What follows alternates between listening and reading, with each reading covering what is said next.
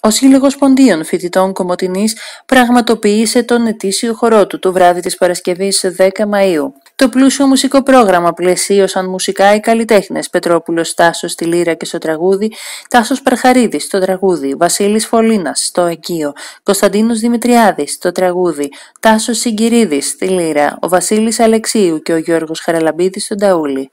Καθώς τιμήθηκαν και ο Πόλιος Παπαγιανίδη και η Αλεξάνδρα Ξενοδοχίδου για την πολύτιμη συνεισφορά τους στον ποντιακό χορό.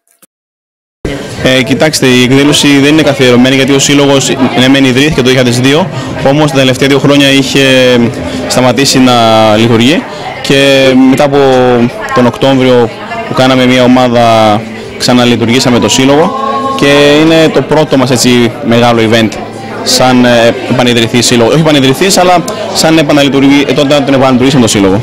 Κοιτάξτε, αυτή τη στιγμή τα μέλη απαρτίζονται Είμαστε περίπου στα 50, ε, έχουμε ενεργούς χορευτές κοντά στους 70, έχουμε δύο τμήματα τα οποία γίνονται κάθε πέμπτη από τις 8 με 9 η Αρχάρη και 9 με 10 οι προχωρημένοι. Είμαστε στον, ε, στεγαζόμαστε στο Μορφωτικό Σύλλογο Εύξηνος Πόντος που βρίσκεται στη Βενιζέλου.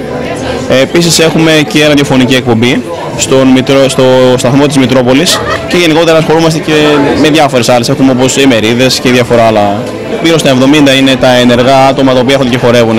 Όλοι οι φοιτητές, όλοι οι διαφόρων τμήματων, δεν έχουμε κάποια έτσι ούτε μόνο τεφά, έχουμε από, όλα τα, από όλες τις σχολές. Ε, αποκλειστικά και μόνο στους φοιτητές ε, περιορίζονται σε αυτό το στυλ, αλλά όμως έχουμε πάρα πολύ καλές σχέσεις με όλους τους συλλόγους και με όλες τους φορείς ε, της Κομωτινής.